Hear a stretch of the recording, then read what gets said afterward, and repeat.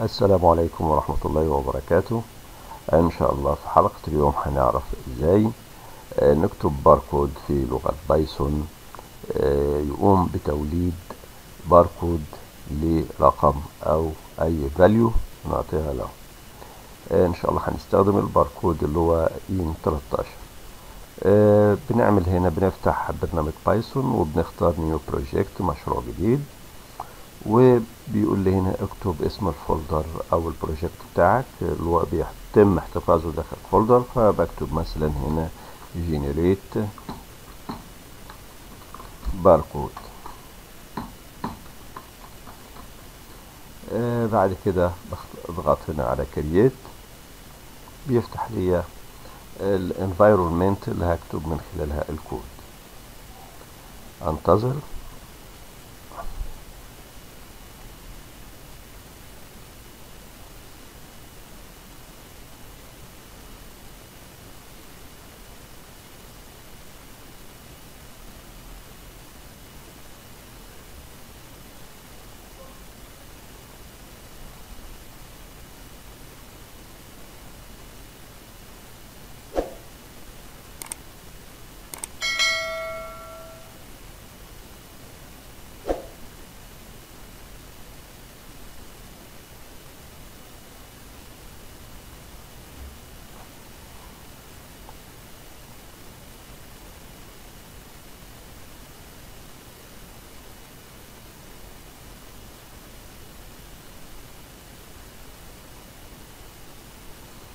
بحذف المين أو ممكن أنشئ ملف جديد مش مشكلة.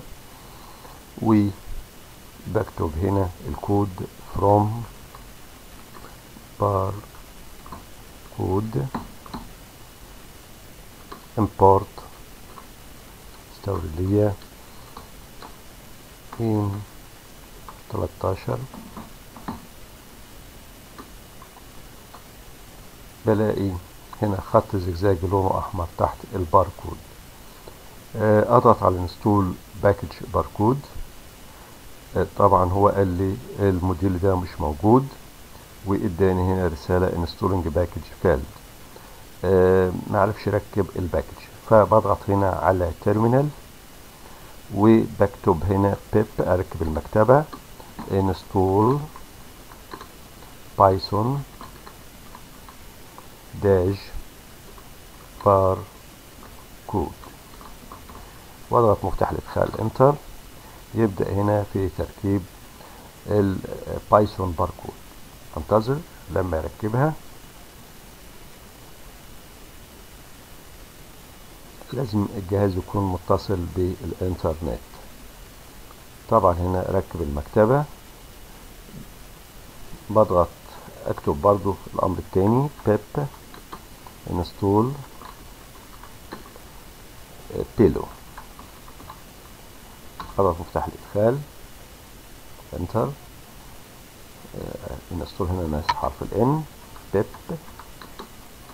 install install pillow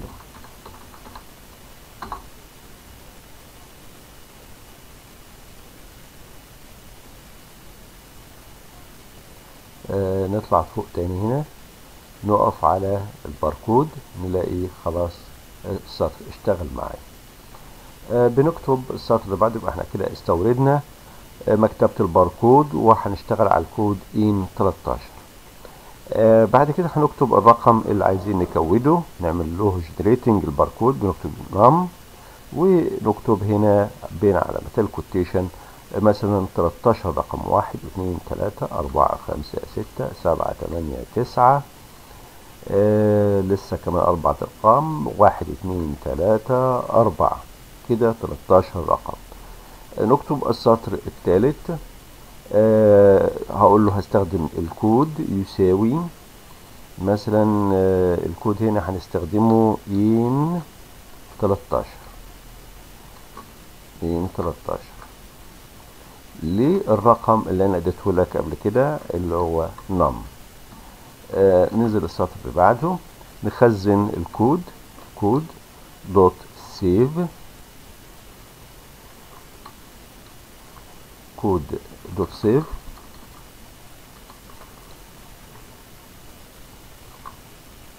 ونخزن آه نكتب هنا الاسم الخاص بالكود. هنكتبه مثلا new code طبعا اسم المشروع هنا كتبته اللي هو generate barcode ووضعته على سطح المكتب. نضغط مفتاح التنفيذ هنا run هنا طبعا قال لي process finished العملية انتهت خلصت. طيب هروح لل folder اللي أنا آه عملته على سطح المكتب generate barcode وأشوف هل في صورة هنا. وطبعا هو حافظ الصورة SVG نشوفها. نروح لل هنا على سطح المكتب نلاقي ال folder. هنا new code أفتحه. أجد إن هو ولد ليا ال ال ال code. ال barcode هنا بالقيمة اللي أنا اديتها له 13 رقم. وعمل ليا الباركود الخاص بيه طيب لو حبيت أعمل باركود بامتداد تاني وليكن امتداد PNG هعمل إيه؟ هو نفس الكود ده بس هضيف هنا اكتب import from اكتب هنا from barcode dot writer dot writer. Import استورد ليا ال image writer استورد ليا ال image اكتب ال I capital ال image writer هنا في خانة الكود طلبت هنا EAN 13 اخد هنا comma دي هعدل فيها وأكتب هنا أضيف كلمة writer يساوي image writer وأفتح brackets ده بس اللي عمله ده بيعمل إيه؟ التعديل اللي أنا عملته هنا اللي هو استوردت ال image writer. وهنا استخدمت ال image writer علشان نقدر نحفظ الصورة اللي هنا نحفظها بامتداد PNG ننفذ. طبعا هكتب هنا مثلا new code مثلا new code مثلا واحد أو اتنين عشان نحتفظ بالصورتين داخل ال folder generate barcode. نضغط مفتاح التنفيذ run كده نفذ اداني هنا process finished أروح لل folder ألاقي هنا الباركود القديم اللي هو SVG وهنا الباركود الجديد PNG نفتح ونشوف الباركود.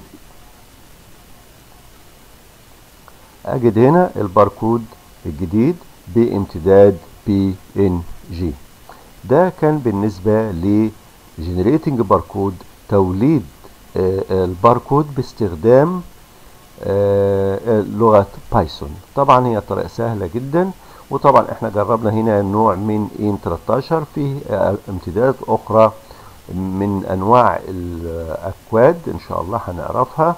حضرتك تجرب ان 13 وممكن تجرب ان 18 و 14 اللي هو خاص بأنواع الأكواد ان وفي إن شاء الله هنخصص حلقة أتكلم فيها عن أنواع الأكواد اللي تستخدم في الباركود وإزاي نقراها وإزاي نتعامل معاها بجميع التولز الأدوات إن شاء الله. السلام عليكم ورحمة الله وبركاته.